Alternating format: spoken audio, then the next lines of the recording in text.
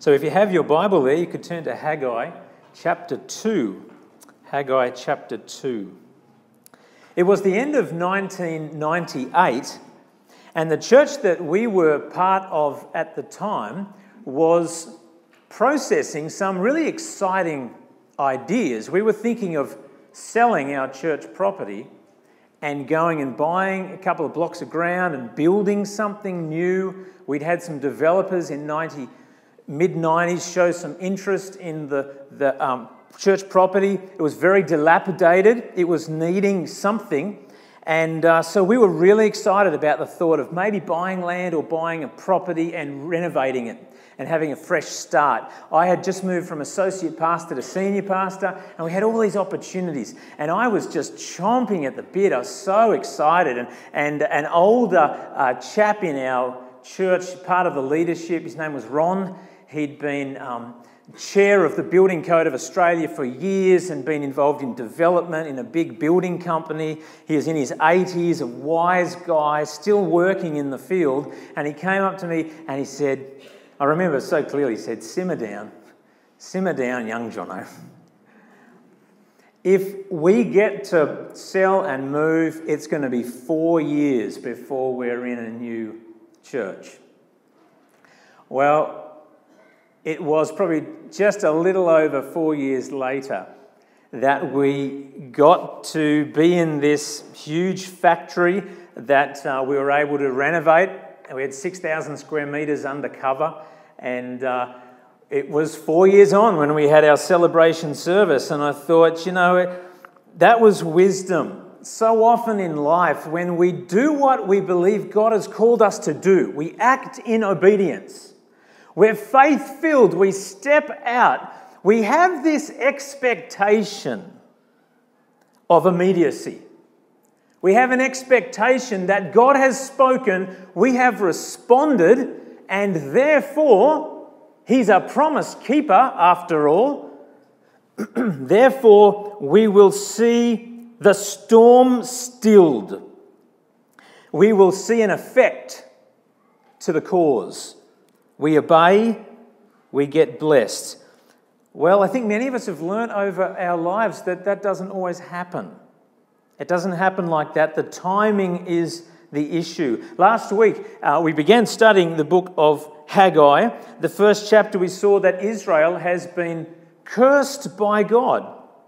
An interesting phrase cursed by God. It was because they were looking after themselves and neglecting God's house. So God says to the people of Israel in this context of their history, you need to repent and change your priorities quick, smart. And you need to start looking after my temple. Immediately, the people do what they need to do. They go up the mountain, they start chopping down wood, and they start hauling it down. And they are planning, they're drawing up sketches, and they start digging holes. In Haggai chapter 2, they've been working for a little while now to really get on to finishing off the temple, but things aren't any better. I wonder, I wonder if many of us in this room can relate to the experience of, and you think about what context it is for you. Maybe it was in your marriage, and you thought, okay, things aren't going the way that I hope they would. I feel convicted, challenged by God to act in a certain way, and you do that. But the fruit is a long time coming. Or you put whatever the context is, maybe it's something to do with your integrity, and, and you obeyed and waited and you're still waiting. You, you were challenged by God to forgive others, and you did your best to do that, but it actually hasn't seemed to bear fruit yet. Today, the book of Haggai is going to raise the question for us Is God good for his promises? Is he? Can, can he be relied upon even if he is slower to fulfill his promise than we expect? In fact, I think a lot of the Christian life is trying to deal with that question. Is God good for his promises? Is he who he says he is? Can we trust him? Because out of that bedrock foundation of trust comes faith, and you can't please God without faith. So it's a very important question that we think about today. I wonder if many of us could relate to the fact that we want something more concrete than a promise. We want something more concrete than a promise.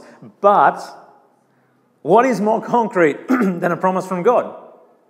What could be more concrete than a promise from God? But it's where we find ourselves, and faith is not always easy. Seldom is it easy. So here we have these people, the Israelites in the book of Haggai, who have made the right decision. They've responded to God's challenge, but they haven't yet received, excuse me, um, any blessing. Let's read Haggai chapter 2, 1 to 3.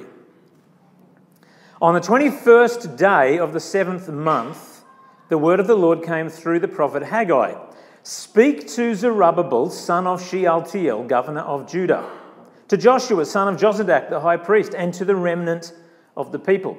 Ask them, Who of you is left who saw this house in its former glory? And he's referring to the temple. How does it look to you now? Does it not seem to you like nothing? So, if you were to look back in the Bible, hopefully it's in your hands um, or on your tablet or phone, you'd see in chapter 1 that they start working in response to God's challenge at the end of the previous month. So I think it's the 21st of the previous month. Now it says it's the, the 21st day of this, the next month. So it's four weeks. It's actually a time frame that's real. This is a, a real part of history.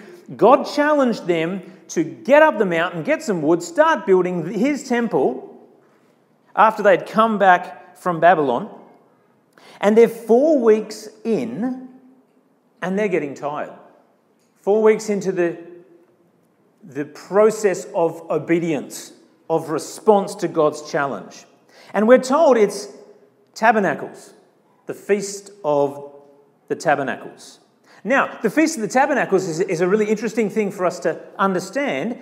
Tabernacles is tents, so it's a feast that celebrates when God delivered the people of Israel from Egypt and they had their time living in tents in the wilderness. So it's a time, Feast of Tabernacles, where the people of Israel say, you know what? You can trust God, you can bank his promises. Remember back in our history when He promised He'd redeem us, He heard our cry, and He led us out, the people uh, from the Egyptians, um, through the Red Sea and through the Promised Land. We remember when we lived in tents, when we were refugees. We had no home, but He was with us. But it's more than that. The Feast of Tabernacles is the celebration the Jewish people did on the last day of the harvest.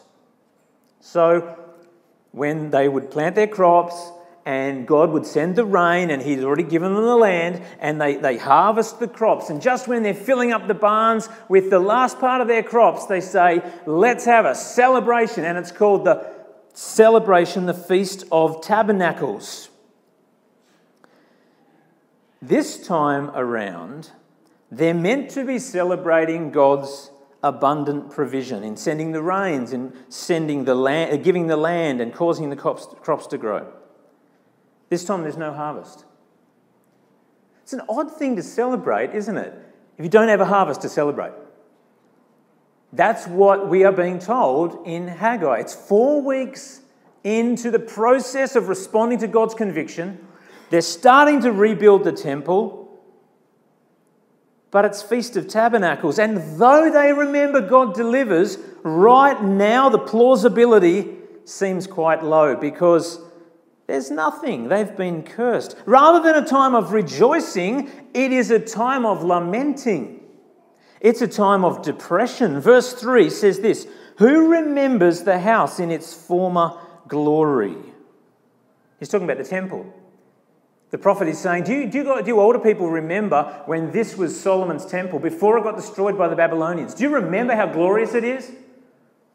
And they are remembering. And they're shaking their heads. They're thinking, oh, the Persians, they've let us come back, but gee, they did a good job of destroying our temple. Gee, they did a good job of destroying our city. We, we have low morale here as we look at it. In fact, it's, it's interesting. In the book of Ezra, chapter 3, Ezra, two years into their return, the people of Israel have come back from Babylon. They've come back and they started building the, the foundation. And it says in Ezra 3, they got to the point of finishing the foundation of the new temple. And it says the young people, like if they were soccer fans, they would have put their shirts over their heads and run around like this, you know, screaming, Yes, we just finished the foundation of the temple. And it says in Ezra chapter 3, at the same time that the screaming and celebration of the young people was just echoing out, there were a bunch of old people who were weeping just as loudly. And it says you couldn't tell the difference screaming and cheering. We finished the foundation. At the same time, the old people are going, We're gutted because that is so pathetic, it's not funny. That foundation compared to what it used to be. A lot of people in church in Sydney must live with this all the time, don't they? You think back to the glory days of your church. Oh, the way it used to be when we had 300 in the Sunday school. They filled the every car park in the car park was filled with kids there's no OH&S issues. And uh, I think it's true. There's a lot of grief that just comes up and hijacks people in their praise. Yeah, remember when we used to be singing the hymns and the church would be full. Well, that's what they're feeling. The older people are shaking their heads and wondering, God, it seems like the best years are, are behind us. It, right now in Haggai, it's been 15 years since the tears were shed and the cheers were yelled. 15 years on. They have a foundation that's not that great, and they stopped. And Haggai had come back and he said, What are you doing? Why have you stopped? And they're like, Well, we're all depressed. It's not very good. And we're, we're getting hassled by people. And so they sort of gave up. So They've been at it for four weeks. It's harvest time. There's nothing to eat. The older people are saying, This looks terrible. And everyone's sort of shaking their heads. And so God gives them a pep talk through Haggai. And this is the pep talk. All right, this is a pep talk. Verse 4.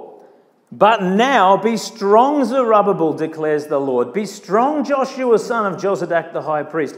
Be strong, all you people of the land, declares the Lord and work. And this is like the kicker. For I am with you, declares the Lord. And you might say, That's it? I thought you were giving us a pep talk.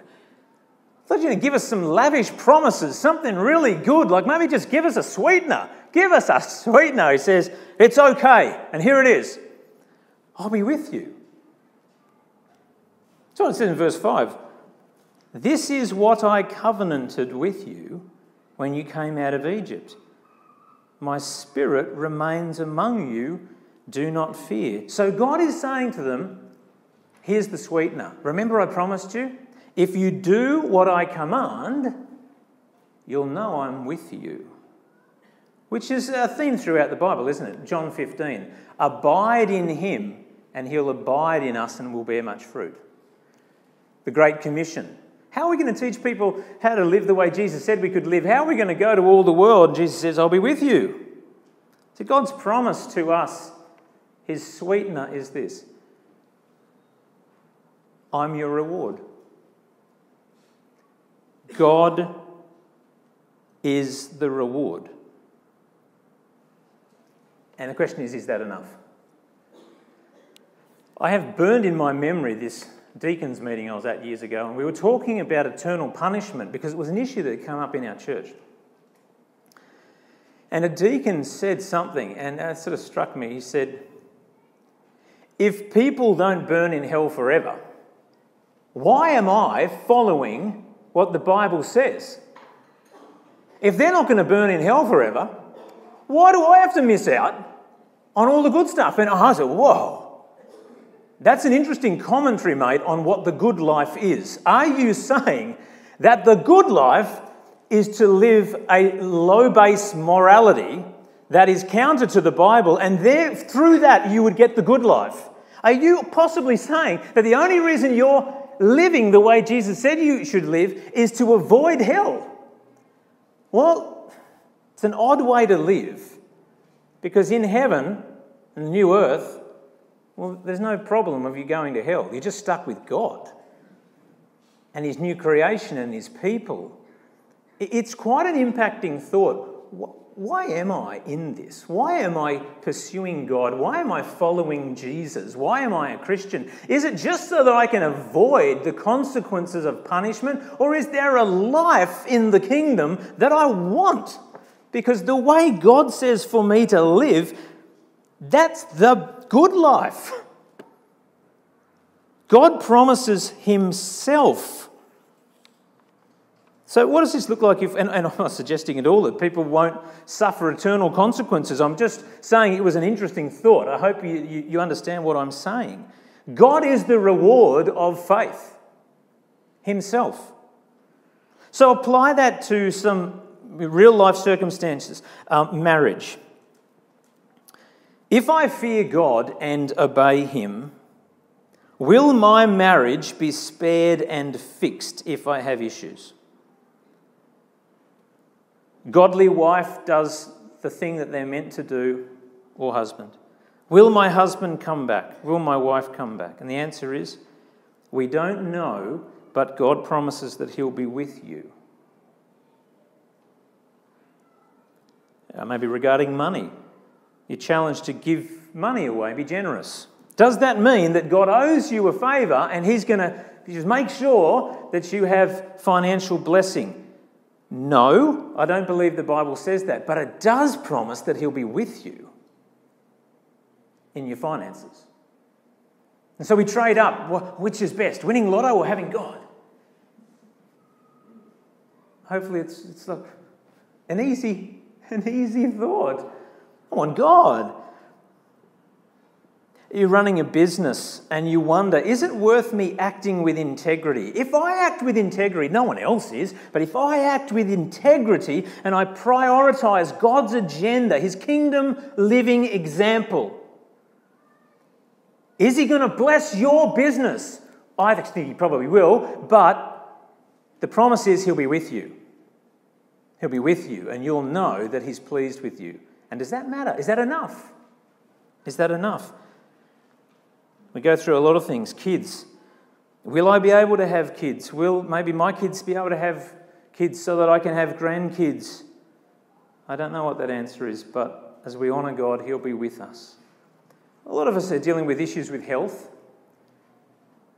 And if you, if, if you do the right thing, say the right thing, pray the right thing, like go to the right church service with the right healing gift up the front, are we going to get healed? We have no way of knowing that, but if you honour God, what's the answer? He will be with you. He will be with us. So let me ask you, why are you here at church? Are you here to do some transaction for your well being? To maybe tick off something that you think God needs you to do? Or is God a means is he the end in himself, not a means to an end, if that makes sense? Is God something you go through to get what you're really after, or is God the end goal? God says to us, Trust my promises, and I promise you, it will go well for you eternally. In verse 6, God says, not only am I going to give you my presence, uh, he does give a sweetener, I think. He just gives a little bit more insight. He says, I'm going to do something like you've never seen before. If you, you know, I promised you I'd give you myself, but like, uh, let me just give you an insight into something else I'm going to do. And this is the, what the prophet says in verse 6. This is what the Lord Almighty says. In a little while, remember that word, in a little while, I will once more shake the heavens and the earth, the sea and the dry land. I will shake, shake the nations, and what is desired by all nations will come, and I will fill this house with glory. They're standing at the temple, foundation of the temple. This is a prophecy about the standing at the temple foundation. I will fill this house with glory. I'm speaking this out, Haggai, as a prophet on behalf of God to people who are depressed, lamenting. What hope do we have? And he says, Let me give you something from God. God is going to shake the nations and fill this house with his glory, says the Lord Almighty. The silver is mine, the gold is mine. God's saying, I am utterly sovereign. You may think the Persians, the Babylonians, the Assyrians, they all have power. They have nothing unless I give them something to use. I own it all, declares the Lord. The glory of this present house will be greater than the glory of the former house, says the Lord Almighty. And in this place I will grant peace, declares the Lord Almighty. So he has a couple more promises to give the people of Israel. When does this prophecy come true? Prophecy comes true in part 500 years later. 500 years later, Herod builds a bigger, physically more grandiose temple. Today, if you go to the Western Wall in Israel and you go deep down there, I know some of us have, you see the big rocks. The tour guide tells you about the rocks. says, We don't actually know how they possibly moved these rocks that are so big. It's beyond us with, without the technology that we have today. Herod did a fantastic job of actually improving that particular temple. It took 500 years before it happened. What if God said to you, I really want you to invest in my kingdom? Oh, thanks, Lord. I would love to be part of it. When's the payoff? He says, 500 years later. 500 years later. We want to see stuff in our lifetime, don't we? We want immediacy. When he said, I'm going to make the next house more glorious than the former, he certainly wasn't just talking about bricks and mortar, was he?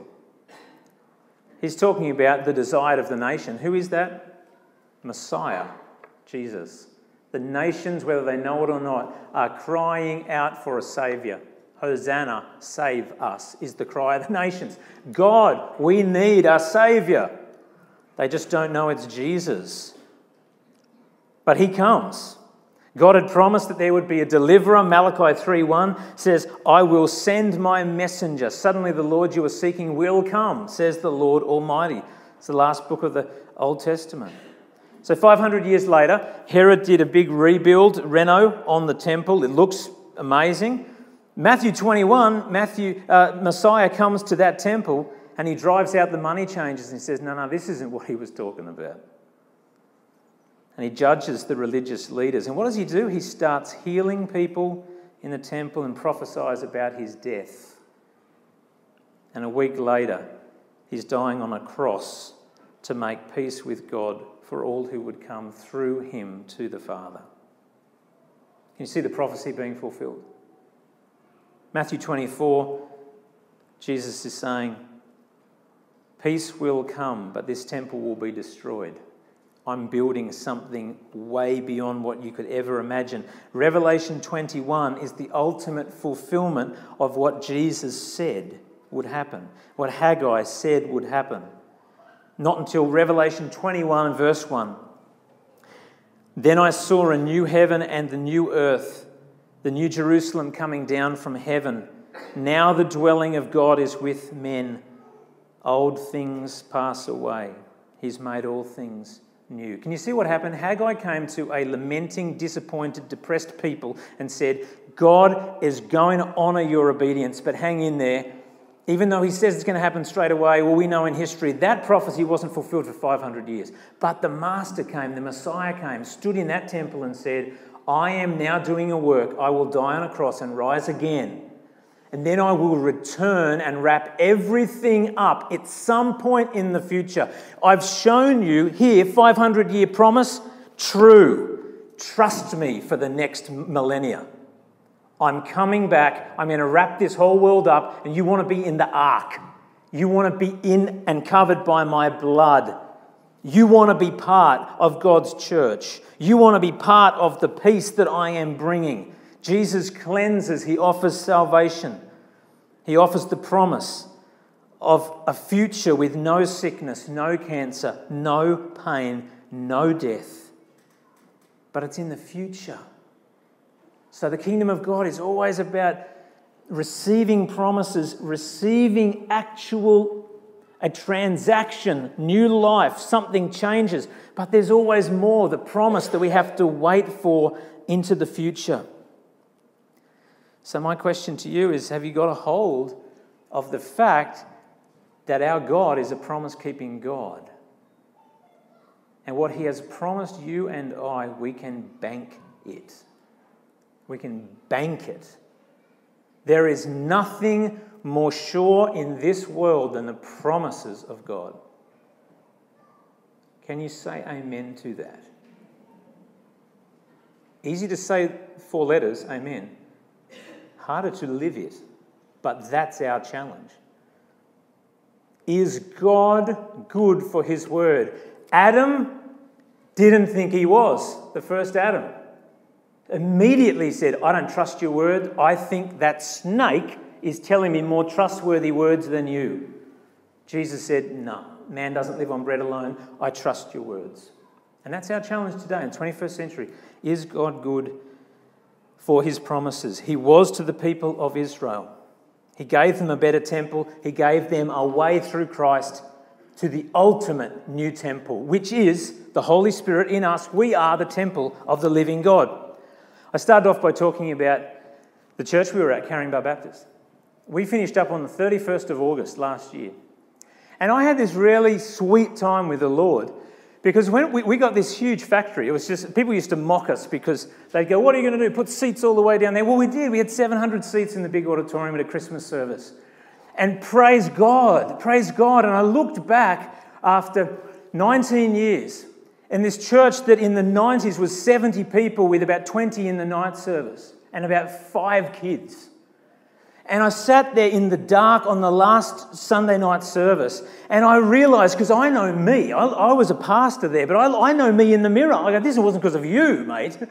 This is the, the faithfulness of God. And I was there, and I just, I just sat there, and I remembered praying up and down there when we moved into that factory, and it was this old factory that we still had to renovate. We had about, you know, 100 people in the church, and I was thinking, Lord, would you do something special here? Would you breathe again on a church that's always reliving the glory days of the past in the 60s and 70s? A church that people said, these are pastor killers. This church has no hope. They're a bunch of misfits and no gooders and, and, and haters of people. God, it's your grace. Would you do a work here? And I sat there the end of last year by myself in a dark church remembering the services and the dozens and hundreds of people that have been saved, and the fact that we were caring for 900 plus people in that church. God's faithfulness to his promises. I sat there and went, God, I got to remember this to, in my family. You're good for your promises. I don't care what happens in church and stuff, calling, career, just for us, for Leanne and I. I sat there and I thought, got to remember this, God. You're good for your promises. You are good for your promises.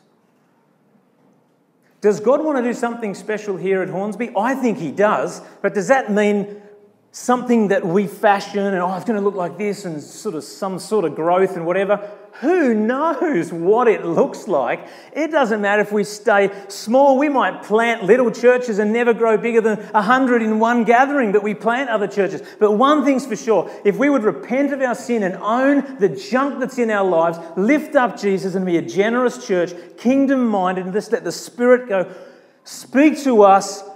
None of us are, are above confessing our sin and just loving one another and just allowing you to Take us where you want us to be. We will see fruit here. Amen. We will see the goodness of God in the land of the living. We will see goodness flowing through the generations. These kids, we prayed that we would have a pram jam at our church because we had no prams, we had no little kids. We had about four or five kids in our church. I remember a, a, lady by the name of Lynn came up to me about 12 years later and she said, How cool is it to have a pram jam? Remember we prayed for this?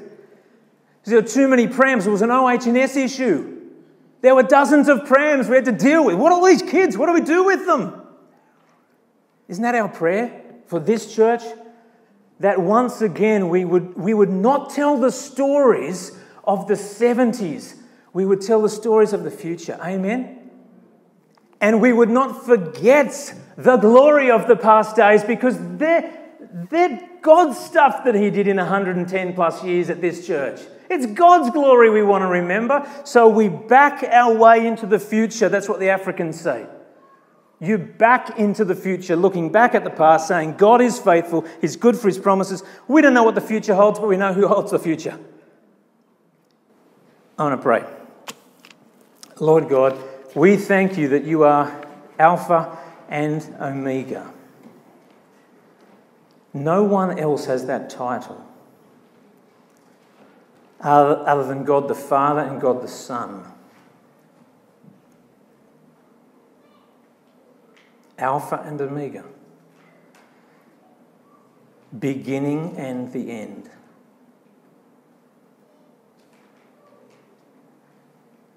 Creator of all that is and all that will be, sustainer of everything. Would you forgive us, Lord? We, are so human and our sight is so impaired and our flesh is so loud. And we struggle so much to be who you've called us to be, but in recognizing that and being a bit depressed about how far we fall beneath the mark in our lives, in our families, in our churches, in our business relationships.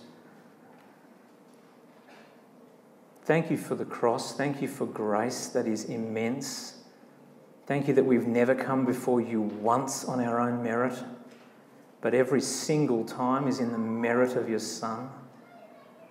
And as a church, we come to you on the potential brink of something special, of something new, of some restart. And we commit it to you, Lord God. We pray that your fingerprints would be all over the future of this church. Help us to grow and own that which we need to, to become more like Jesus as a church. Help us to hold on to your promises tightly. And I pray for individuals here that are just so desperate for you to come, come good on your promises. Would you fill them up?